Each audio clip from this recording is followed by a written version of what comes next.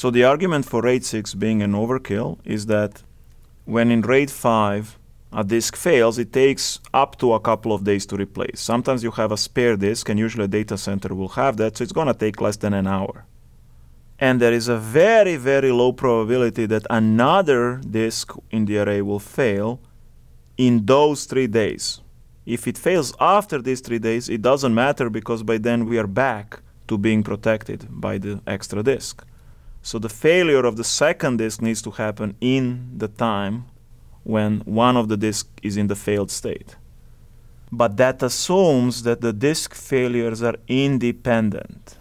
But the failures can be related to each other, in which case this is not correct to assume. A typical scenario when this can happen is let's say that we have a RAID 5 with 5 disks and one of the disks fails. Let's say that disk number 2 in the array has failed the system reports that a disk has failed and continues functioning normally. Remember that it can do that with one failed disk in RAID 5.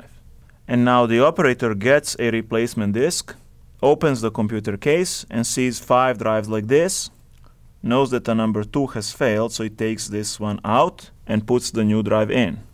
But for example, the numbering of the disks was actually 0, 1, 2, 3, 4, so we pulled out the wrong drive. This was the failed one.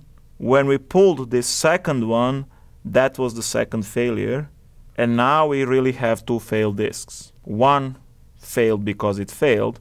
The other one failed in the course of trying to repair the first failure. So that's, for example, a case of correlated failures. And in that case, we cannot assume independence. So pretty much when a disk fails, the actions to repair it are creating a lot more risk for the other disks and may cause a second failure.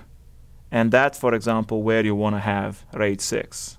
When one fails and you're trying to repair it, if another one fails for any reason, independent or dependent on the first failure, you are still safe.